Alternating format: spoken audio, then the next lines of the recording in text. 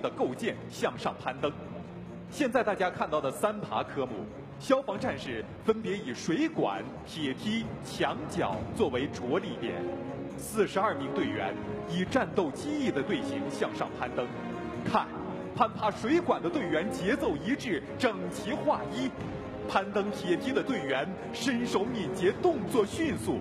训练难度最大的要数两边爬墙角的队员，他们要用自己的手指紧抠砖墙向上跳跃。在平时的训练中，血肉之躯与坚硬墙体无数次的亲密接触，磨破了指尖，磨掉了指甲。要经受多少痛彻心扉的艰苦磨砺，才能换来今天的一飞冲天？即将看到的是双人登窗。双人登窗是一个双人训练项目，讲究的是协同和配合。每一组的两名队员没有任何的登高装备，在仅仅可以容纳半只脚掌的狭窄窗台，一人在下，以对方的肩膀为阶梯；一人在上，以战友的手臂为绳，借助相互之间的拉力和顶力。相互交替向上攀登。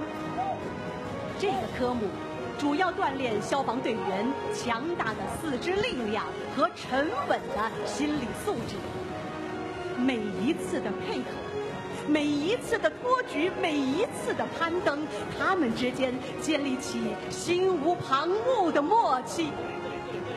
好，转瞬间，他们已经成功登上石楼。看。雄鹰展翅这是下降，难度系数极高。一名队员先要抓住另一名队员的脚踝，形成力量的支点，向下飞跃；队员宽厚的肩膀，又是战友夺取下一个胜利的依托和基石。战士们动作干净利落，配合默契，他们凭借着非凡的胆量。和心理素质，凭借着恰到好处的力量和技术的运用，在一层又一层训练塔间闪转腾挪。通过这项训练，不仅磨练了队员们充沛、坚韧的意志，更把他们铸就成一个无比团结默契的整体。他们不是蜘蛛侠。他们是消防好兄弟，他们用血肉之躯锻造守护羊城的钢铁长城。